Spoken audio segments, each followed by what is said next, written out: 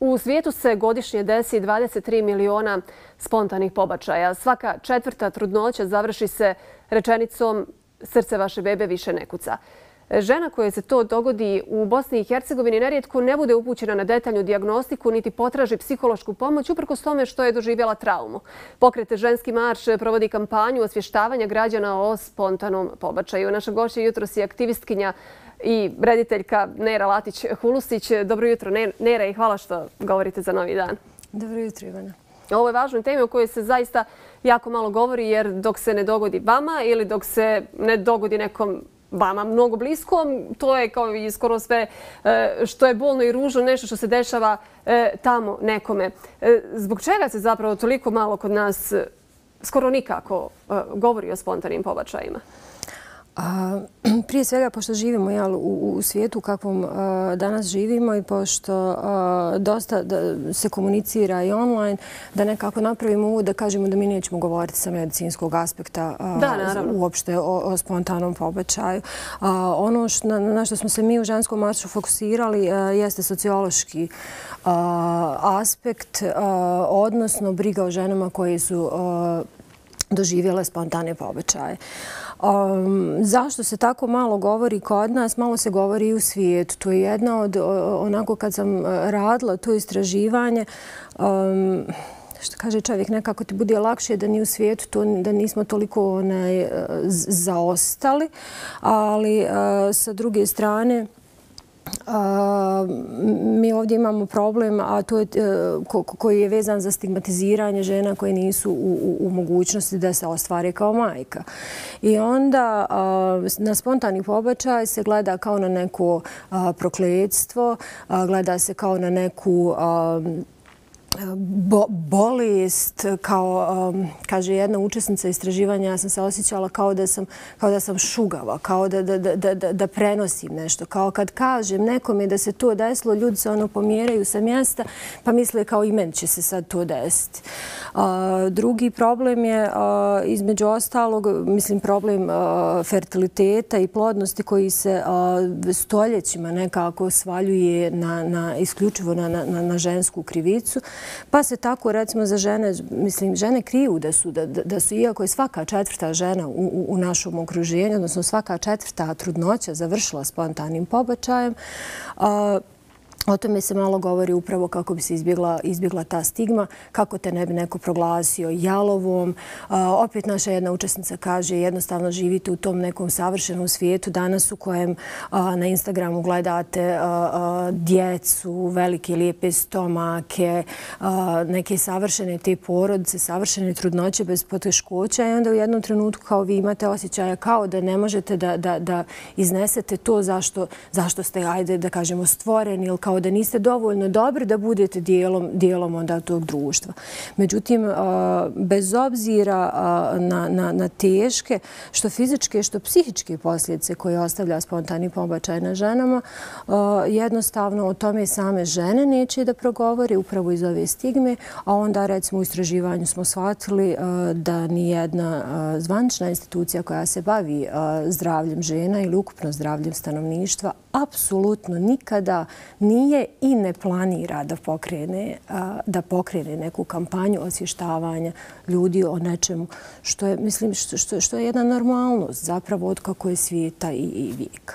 Da ova kampanja koju vi provodite podrazumijeva i to neko prikupljanje iskustava e, žena kojima se spontani pobačaj e, dogodio i tek kada se nekome dogodi i kada ode kod ljekara shvati, odnosno prvi ginekolog e, mu kaže, doktor ili doktorica, pa to je nešto što se vrlo često dešava. Posebno e, u posljednje vrijeme, prema evo nekim svježim informacijama koje imamo iz e, naših zdravstvenih ustanova u Bosni i Hercegovini. Žene o tome nerado govore i niko ne misli da se to može njemu dogoditi, odnosno ni jedna žena ne razmišlja vjerovatno na, na takav način. E, ono što prvo svaka žena koja se to dogodi osjeti e, je neki, neka krivica. Tako je. Da je ona tu nešto kriva, da nešto nije radila kako treba. Koliko je taj osjećaj u stvari čest? A, puno vremena i puno kontakata, zapravo istraživanja sam upravo posvetila tome šta su uzroci odnosno šta mogu biti uzroci spontanog pobačaja i upravo zbog ovih razloga osjećanja krivice koju prevashodno nosi žena. Isto tako ne možemo zaboraviti ni partnere koji e, najčešće ne znaju kako da se nose sa tim gubitkom.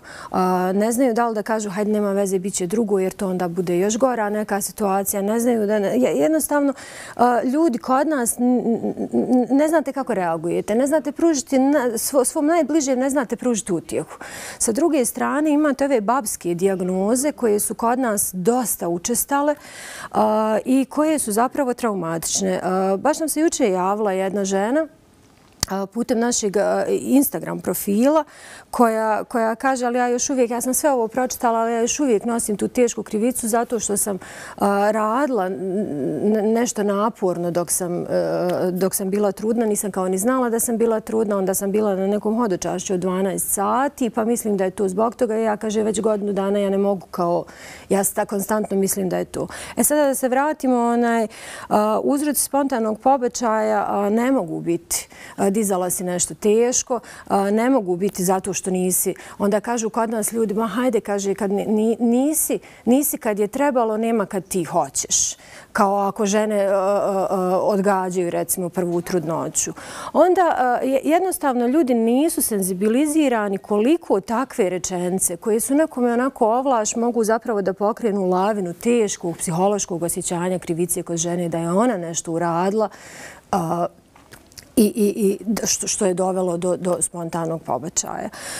Um, ono što kažu uh, uzroci, što kaže nauka uh, uh, o uzrocima je da u principu uh, spontani pobačaj niti se može, kada se već krene dešavati, niti se može spriječiti, niti se može uh, izazvati. Uh, međutim, Ono što je poražavajuće je da 50% uzruka spontanog pobačaja se uopšte ne zna. Znači, poznato je nekih 50%, neki su, e, jedan od njih je, ne znam, hromozomski e, e, defekti, onda Eh, trombofilija je kao jedan dosta čest eh, eh, faktor gdje vi kao e, zbog toga sad ne znam ide se nove detaljne diagnostike gdje recimo imate trudnice koje su imale dva ili više ponovljena spontana pobačaja a nikad ih se nije uputilo na taj jednostavni test na trombofiliju koja koja često zna dovesti do do do spontanog.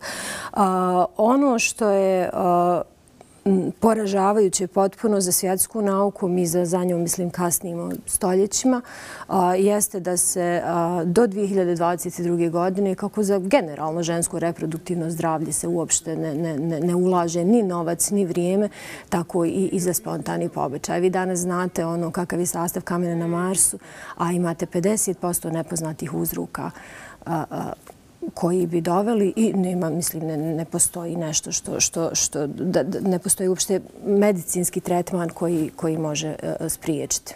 I, I svaka žena koja se to dogodi, vjerujem da to potvrđuju i e, iskustva mnogih sa kojima ste i razgovarali tokom ove e, kampanje se osjeti onako prilično izgubljeno kada se suoči sa tom spoznajom, odnosno kada je bude izgovorena ta rečenica nema otkucaja srca, odnosno srce vaše bebe više ne kuca. E, onako u šoku ste. Svaka žena vjerovatno se već tu odmah kod ginekologa rasplače. Međutim, rijetko koja bude upućena na, i na detaljnu diagnostiku, a kamoli na da, da potraži neku psihološku pomoć?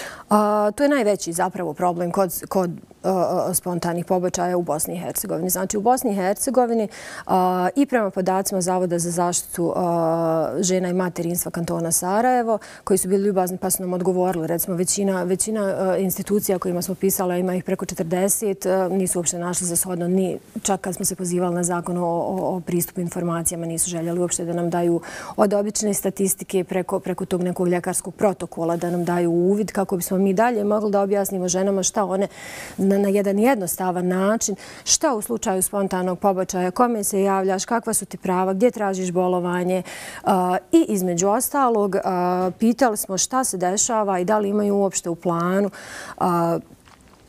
uvođenje znači automatske psihološke pomoći za žene koje izgube trudnoću. Znači, da li u prvim sedmicama ili, ili čak znači, dešava se gubitak visokih trudnoća gdje žene po dijagnozi nemaju, nemaju nikakvu automatsku psihološku podršku.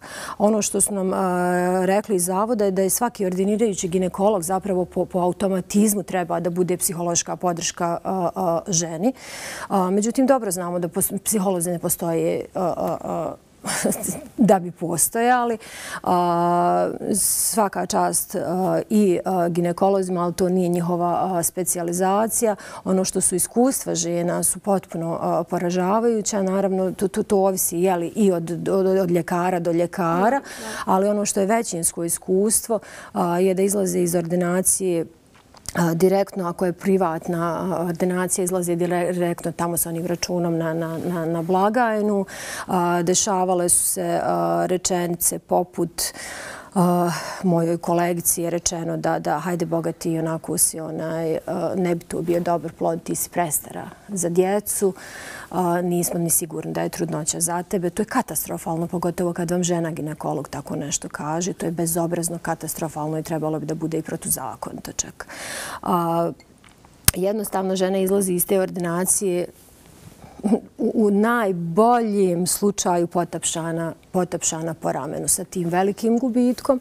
A, ni, ni, ni žena, ni partner, ukoliko je uključen jel, u tu trudnoći, a, nemaju poslije nikakav psihološku podršku po automatizmu, znači da te doktor, da li opšte paraksije, da li ljekar, kaže ako niste dobro, izvolite, imate ili pošto ste doživjeli spontani pobačaj, vi sad morate otići na tri, jednu, dvije, da vas psiholog procijeni, jeste li vi spremni se u ovom trenutku vratiti na posao. Poznajem žene koje su tri dana nakon spontanog pobačaja vratile na posao. Poznajem žene koje su radile u toku, znači krvarenja, u toku spontanog pobačaja. Onda vi imate još jedan problem koji je osim nepostojanja tog po automatizmu dodjeljivanja psihološke pomoći ženama, vi imate ovdje kod nas stigmu i odlaska kod psihologa. Vi ako kažete ja bih uputnicu za vi imate besplatnu znači, psihološku pomoć pri, ako ste osigurani. Ali vrlo rijetko se traži jer vi imate stigmu tu koliko vi tražite uputnicu za psihologa, vi ste odmah još, osim što ste jalovi, još ste i ludi onda. Da, i da ne govorimo još o tom jednom e, problemu koji postoji kod nas, e, E, u samom zdravstvenom sistemu. Svi dobro znamo, pogotovo u manjim mjestima, u kakvom su stanju naše zdravstvene ustanove, u kakvom su stanju naši domovi zdravlja i vi ste naravno vrlo često nakon tog spontanog pobačaja upućeni da vadite nekakve nalaze u nekim domovima zdravlja u kojima e, ste prvo sa tim ogromnim osjećajem krivice, jer ste možda u tom dobu zdravlja imali na raspolaganju samo jednog ginekologa, što je vrlo čest slučaj. Takav slučaj imamo evo, u domu zdravlja koji nam je vrlo blizu, u identitetu Republika Srpska u istočnom Sarajevu i tu ste prinuđeni da na pregled čekate više od mjesec dana, onda vas grize savjest što se niste obratili privatnom ljekaru, što ste toliko dugo čekali na pregled, jer možda da ste se obratili, to se ne bi dogodilo, onda vas upute, ne znam, u neki raspadnuti, bukvalno, e, toalet, da tamo, e, da tamo uzmete sami sebi urin i da, da ga predate na analizu i sve to tako prolazite sa nekim osjećanjem i krivice i, i poniženosti i onda se vratite na posao e, nakon nekog vrlo kratkog vremena, nakon što ste isto morali da čekate na tu proceduru, e, kako oni kažu, čišćenja u, u bolnici, koja je vrlo zahtjevna, vrlo često i pod e, potpunom anestezijom i onda se vratite tako u normalan život, vrlo brzo kao da se ništa nije dogodilo. I postoji još sigurno jedna predrasuda, to je da se to neobraćanje psihologu dešava samo manje obrazovanim ženama i da kroz sve to prolazi samo neke manje obrazovane žene u manjim mjestima. A vrlo čisto ja vjerujem da je upravo suprotno od one koji su zaposlene i sa nekih miliona obaveza ubijede sebe tako brzo da, to, eto, da će to preživjeti i, i prevazići kao i mnogo šta prije. Um, Prije svega na papiru, recimo, kada vi tražite odgovore od ordinirajućih domova zdravlja, Zavoda za zaštitu materinstva, Zavoda za osiguranje po kantonima, sad smo mi to morali sve po svakom kantonu. U svakom kantonu je drugo pravilo šta se refundira, šta se ne refundira od nalaza, šta se šta je zapravo besplatno. Onda pitanje bolovanja, tako svaki kanton ima svoju priču. Međutim, vi kad vidite na papiru kako to izgleda, to je savršeno žena na tom papiru ima je ozbiljna prava. A da, u suštini ništa vam to ne bude rečeno, a vi niste u stanju uopšte, vama nije došlo da da pitate šta ja i kako pravo imam, jer u toj fazi ništa nije Zato što vas mora uputiti, znači, ukoliko se dešava i imate problem sa održavanjem trudnoće, znači, za početak vas morate imati dobrog ginekologa. Vi imate tako manja mjesta u Bosni u Sarajevu i još mi smo dobro razmaženi jer imamo jedno mnoštvo privatnih razmaženi u ovom ružnom kontekstu. Imate mnoštvo privatnih ordinacija nas u sreću ko može da ih priušti Ali je problem što većina žena sa našom prosječnom platom ne može da priušti održavanje trudnoće u privatnim ordinacijama. Znači, ostaju domovi zdravlja. U domovima zdravlja se nekada čekaju po dva mjeseca na jedan pregled. Znači, obični ginekološki pregled, ne nikakvu detaljnu diagnostiku. Također, dešava se da trudnice koje kojima, ne znam, uzmu vaginalni vriz, kažu da imaju neku upalu, da im ponovo odgodi taj ultrazvuk za još mjesec dana. Problem je, recimo, svi nalazi koji se radi u toku sumnje na spontani pobačaj, odnosno ukoliko se dešava ponovljeni spontani pobačaj, pa vas onda ginekolog uputi već u toku druge trudnoće na tu detaljnu diagnostiku, u principu su u cijeloj Bosni i Hercegovini besplatni. Međutim, problem je što nemate reagensa. Tako da u ovom trenutku, ne znam, ja imam uh, sad jednu, uh, jednu trudnicu koja je već imala jedan spontani pobačaj uh, koja čeka evo, 15. dan da joj se izvadi D-dimer koji je opet vezan, jel nalaznik neki vezan za, za, za trombofiliju, koja može biti smrtonosna po plodu čeka se nalazi na herpese, recimo nema reagensa trenutno na kliničkom centru i sada.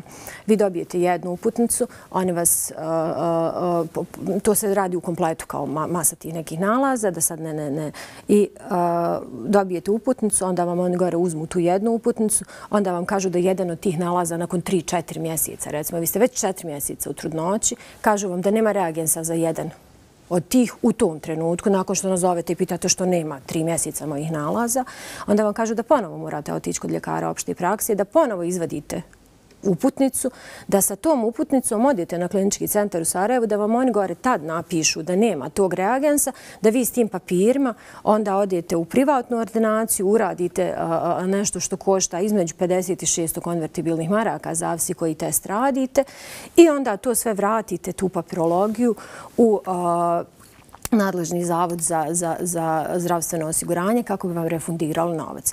Znači, to je pakao jedan administrativni koji vi morate proći da dobijete nalaz da dobijete mm, papir na kojem se kaže da te nalaze našu, znači, iako imate pravo na njih ne rade jer nema reagensa i to, to ako ste baš sretni i uporni dobijete uopšte tu potvrdu.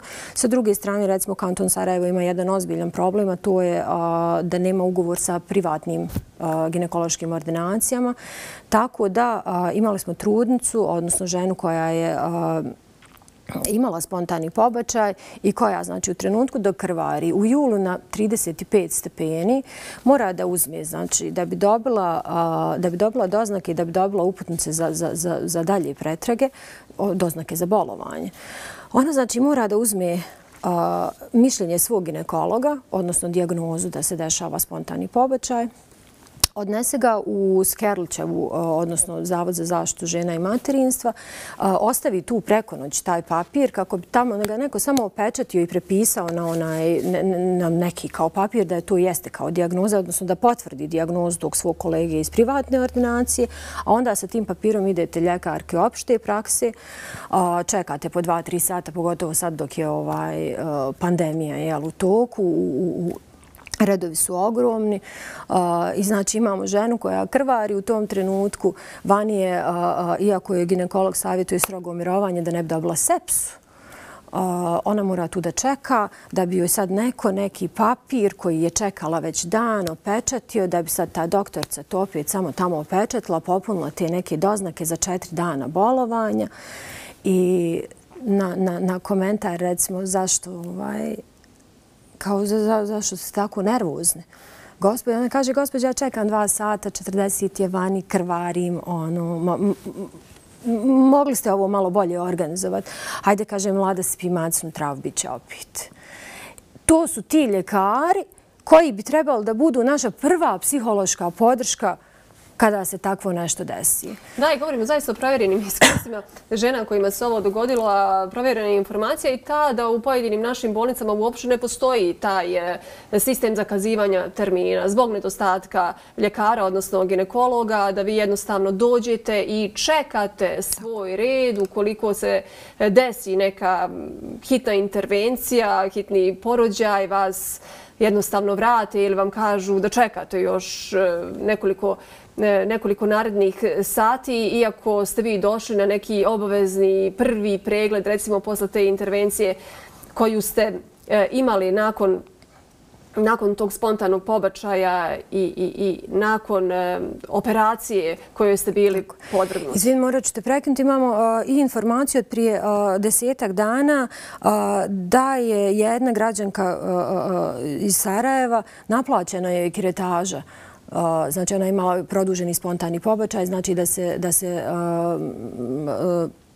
fetus morao odstraniti e, hiruškim putem jer nije, nije odlazio e, prirodnim putem, znači to nije bio, iako i abortus, znači po, po zahtjevu klijentice e, kod nas je legalan i u principu bi trebao biti besplatan i to se naplaćuje, ali evo ženi je ona je u toku produženog spontanog naplaćena usluga kiretaže, odnosno odstranjivanja pražnjenja maternice u Sarajevu. Ne, ne privatno, nego u, u, na jezeru, ne znam kako je i puni naziv uh, te, te institucije. Tako da mi imamo masu uh, žena koje uh, ne mogu da prođu kroz ovu šumu administracije, ne znaju šta su njihova prava, ne možete u trenutku takvog gubitka, to je fizički i psihički gubitak, ne možete da prolazite kroz svu tu papirologiju. Uh, žena koja nam se javila, koja je u 40. toj uh, sedmici, uh, ona je u stvari se i porodila, to je gubitak visoke trudnoće, Mm, rodila je dijete kojem je srce prestalo da kuca u trudnoći. Upravo iz razloga, e, sad je to su već razloz, recimo, kašnjenja diagnostike. Žena je imala trombofiliju, znači imala je već ponovljeni spontane pobećaje, međutim, nikad nije upućena na detaljnu diagnostiku, a recimo trombofilija se rješava vrlo jednostavnim, vrlo jednostavnom terapijom koja vam pomogne da donesete tu trudnoću do kraja. I ona kaže, dobila je bolovanje od nekih 40 dana koja je opet produžavala ljubaznošću doktorce opšte prakse koja je na osnovu psihološkog stanja upućivala psihologu pa onda joj produžavala to bolovanje. Ali kaže, meni je trebalo od 80 dana da ja završim sve papire i sve, sve, sve, sve diagnoze koje su, mi, koje su mi trebale kasnije. Da, e, radit će ovo istraživanje e, Šta ste zaključili? Šta je svakoj ženi koji se dogodio spontani pobačaj zapravo e, najpotrebnije, jer znamo da, iako je sterilitet sve češći problem, e, iako e, su sve češći generalno problemi sa začećem, kod nas ne prestaju da postavljaju ono pitanje kad će drugo, kad će treće. Tako je. Mi živimo u jednoj licemirnoj državi u kojoj se čak i na onim pamfletima u predzbornim kampanjama ženama u biografiji stavlja da je majka jedno, dvoje, troje, sedmero djeci. Muškarcima se takvo nešto ne stavlja u biografiji, one kratke na pamfletima predzbornim. Živimo znači u zemlju u kojoj svaki treći političar konstantno poziva na rast populacije, na rađanje, na razmnožavanje, u kojoj sve sve vjerske zajednice pozivaju na, na, na, na brak i, i, i e, reprodukciju. A, međutim, nikoga nije baš briga niko ne vidimo, ne vidimo da iko od njih e, ulaže zapravo u tu brigu o ženskom zdravlju. Od samog znači, fertiliteta do do evo dešava, do, do spontanih pobačaja.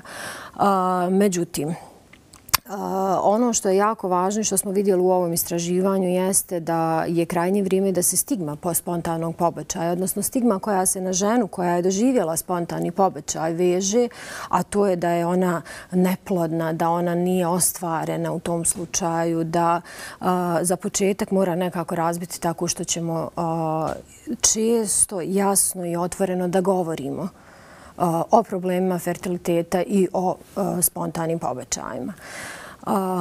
Krajnje je vrijeme da se u ovom društvu nekako destigmatiziraju stvari koje su vezane za ženo seksualno i reproduktivno zdravlje.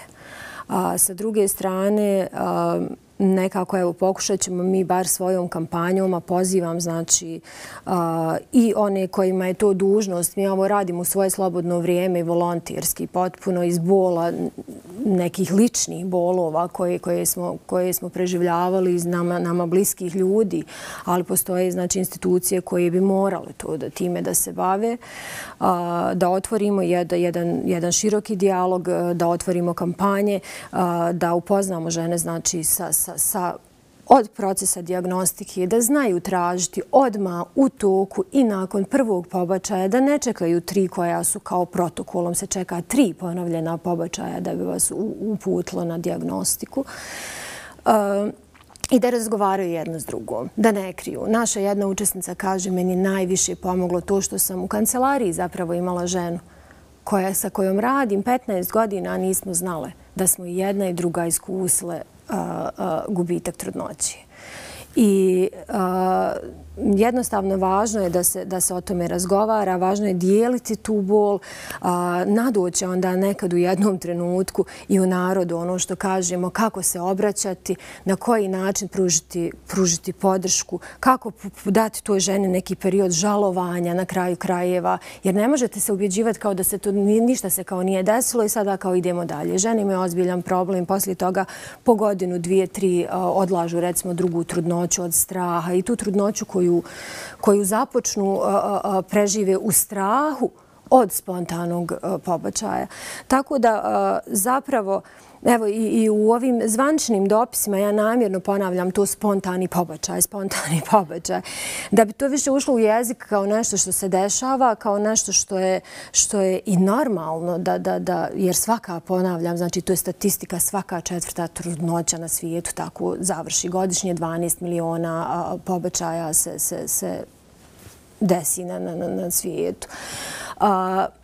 Međutim, vi i u onim zvaničnim dopisima, ljekarima, Uh, oni kada, kada odgovaraju na zvančni dopis, kaže kada se taj nemili događaj desi, kada se to desi, kada se takvo nešto desi, imate osjećaj kao da ni ljekar neće da kaže spontani pobačaj. I uh, vrijeme je krajnje uh, da, se, da se skine taj osjećaj prokledstva, da se to ne zove nešto što se desilo i ne smije se imenovat, nego da žene jednostavno progovore o tome kao i o svakoj drugoj traumi i onda će onoj drugoj, trećoj, četvrtoj nekako biti jednostavnije i lakše i onda ćemo znati na kraju krajeva onako kad se sjedinimo, znaćemo kućemo po uputnicu, znaćemo da nismo krive, da nismo mogle ništa uraditi po tom pitanju, a to će znati naši partneri pa će znati nekako kako se snalaziti u toj situaciji. Hvala vam, Nera. Hvala najljepše što ste bili naša gošća jutro i što smo razgovarali o ovoj važnoj temi. Hvala vam o spontanim pobačajima, e, o e, istraživanju koje je radio pokret Ženski marš. Govorila je aktivistkinja i rediteljka Nera Latić-Hulusić. Ostanite dalje uz novi dan.